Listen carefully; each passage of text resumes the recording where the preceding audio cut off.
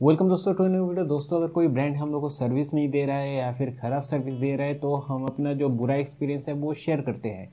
लेकिन, अगर कोई ब्रांड अच्छा कर रहा है अच्छा सर्विस दे रहा है तो मेरे ख्याल से वो भी शेयर होना चाहिए।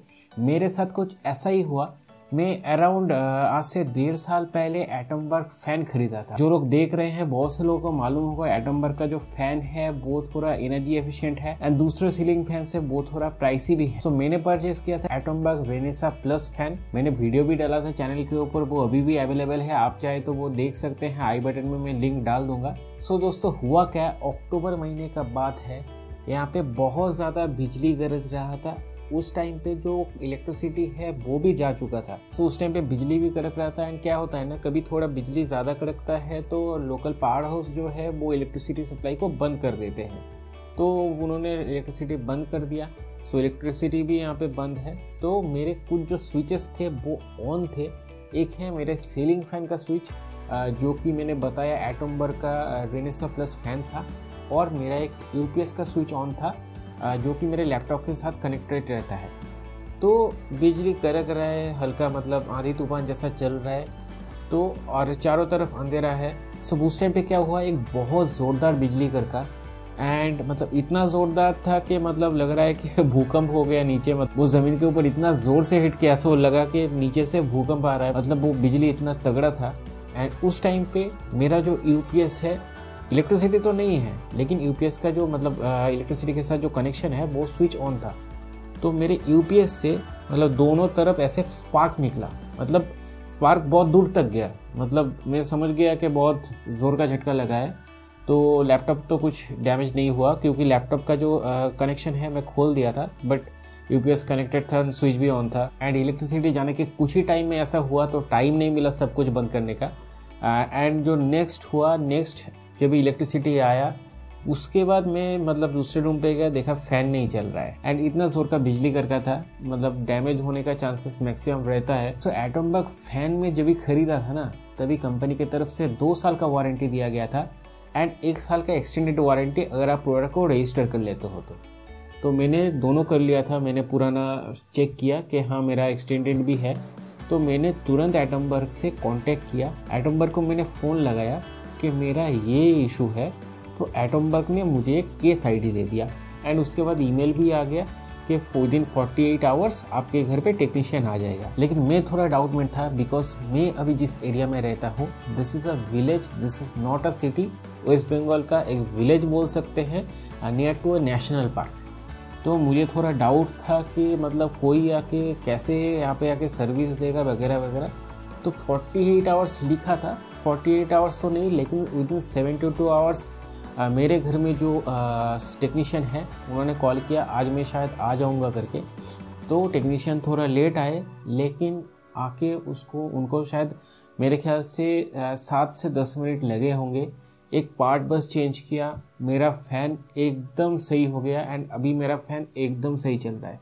दोस्तों, मैंने जब ये कंप्लेन किया ना मतलब मैं सोच रहा था कि मुझे इस एरिया में मैंने फ़ैन तो खरीद लिया आइटम्बर का, लेकिन इस एरिया में मुझे सर्विस नहीं मिल पाएगा, क्योंकि डेडिकेटेड कोई आइटम्बर का यहाँ पे मैं ऑफ़िस वगैरह मतलब सुना नहीं था। एंड दोस्तों, ये जो डिस्ट्रिक्ट है डिस्ट्रिक्ट का कैपिटल भी यहाँ से कम से कम मतलब वही चालीस किलोमीटर दूर आप पकड़ लो। सो डिस्ट्रिक्ट कैपिटल भी उतना दूर है। तो मुझे थोड़ा डाउट था कि यहाँ पे कैसे रिपेयर हो पाएगा, कैसे कोई आके रिपेयर करेगा मतलब होगा कि नहीं मतलब रजिस्टर तो कर लिया है। लेकिन जो केस आईडी मिला था, उसके रिगार्डिंग मुझे एक टेक्नीशियन का कॉल आया कि आपका जो बिल है बिल वगैरह सब निकाल के रखो।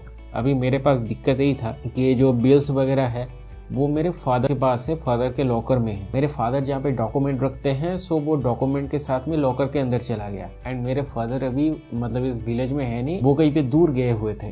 तो उस टाइम पे पॉसिबल नहीं था कि उनको मैं बिल दिखा दूँ। सो so, मैंने यही बोला कि मैं ढूंढ रहा हूँ करके। तो यहाँ पे आने के बाद भी मतलब उन्होंने बोला कि आपके जो सारे डॉक्यूमेंट्स है वारंटी कार्ड वगैरह वो सब निकालो। वारंटी कार्ड तो लॉकर के अंदर ही है लेकिन मेरे पास अमेजोन का बिल था। तो मैं अमेज़ोन का बिल उनको शो कर दिया एंड उससे मेरा जो प्रॉब्लम था, वो सॉल्व हो गया। मैंने उनसे और थोड़ा डिस्कस किया तो मुझे पता चला कि नॉर्मल जो वारंटी कार्ड नॉर्मल अगर आप दुकान से लेते हो तो वारंटी कार्ड वगैरह मतलब वहाँ पे दुकान का स्टैंप आता है साइन आता है मतलब बहुत कुछ होता है। बट जो ऑनलाइन मान लो मैं अमेज़ोन से परचेस किया तो अमेज़ोन का जो जनरेटेड बिल है सो वही पक्का चीज़ है, क्योंकि अमेज़ोन में कोई ऐसा बॉक्स ओपन करके वहाँ पे वारंटी कार्ड में उसका स्टैम्प मार के ऐसे नहीं भेजेगा।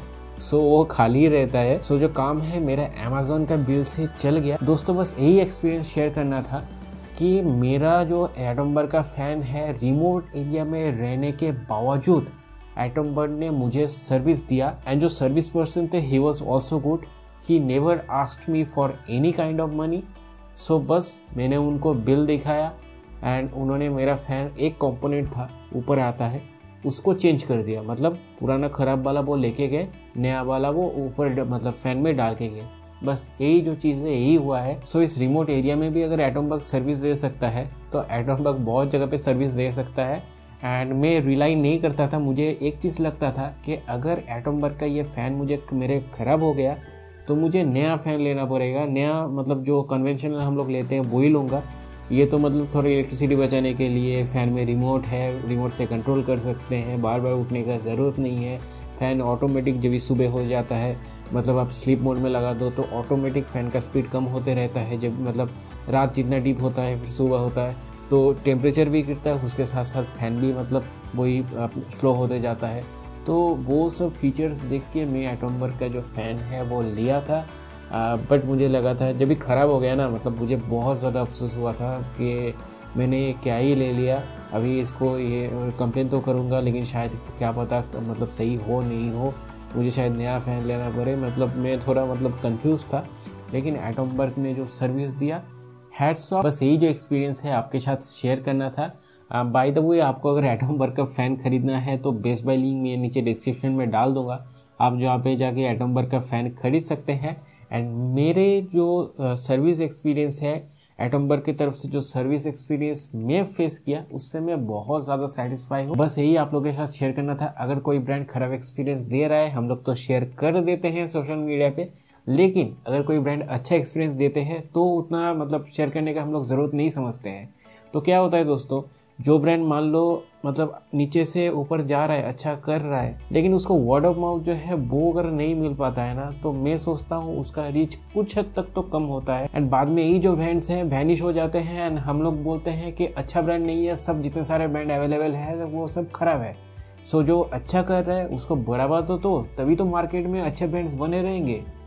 So thank you guys for watching this video मिलते हैं अगले वीडियो में. तब तक के लिए बाय और हाँ चैनल को सब्सक्राइब करना बिल्कुल भी नहीं भूलिएगा क्योंकि बहुत सारे नए वीडियोज़ आने वाले हैं.